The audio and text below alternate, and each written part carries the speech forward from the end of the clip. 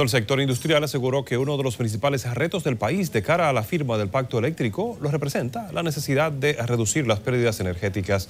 Y como nos cuenta Yarilis Calcaño, los sectores involucrados se muestran esperanzados de que la rúbrica de, acuerdo, eh, de este acuerdo sea el comienzo del fin de la crisis eléctrica.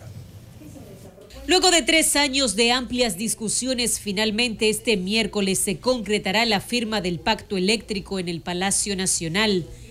Entre los sectores involucrados hay gran expectativa, sobre todo en los industriales del país, que destacan la necesidad de avanzar en la disminución de las pérdidas en la distribución eléctrica. La idea es que mañana se firme el pacto eléctrico eh, que por más de tres años fue discutido y consensuado cada una de sus partes.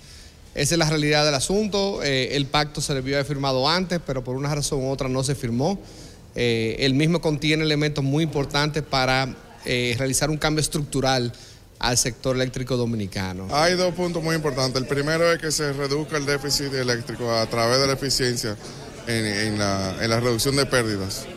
Eso le quitaría una carga enorme al presupuesto de la nación, que, actualmente eh, es lo que llamamos el déficit, el subsidio del déficit eléctrico.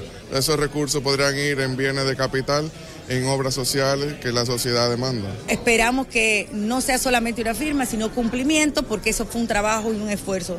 Y tiene todo un plan de trabajo que si se logra aplicar eh, adecuadamente, eh, podríamos ver luz al final del túnel. Y es que desde el punto de vista de ese sector, la implementación del pacto eléctrico será beneficiosa para hacer más eficiente la producción local.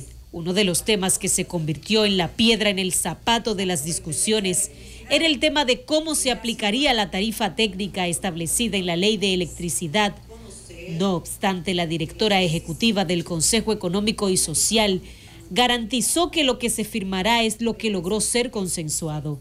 Consenso no es unanimidad y por lo tanto quienes van a la firma mañana son aquellos actores que se mantuvieron firmes en la necesidad sectores productivos, fuerzas políticas eh, progresistas que entienden que esta solución al problema eléctrico es una de nuestras necesidades fundamentales. La finalidad del Pacto Nacional para la Reforma del Sector Eléctrico es construir una visión consensuada del sistema al que aspira la nación que guíe las acciones a desarrollar a corto, largo y mediano plazo.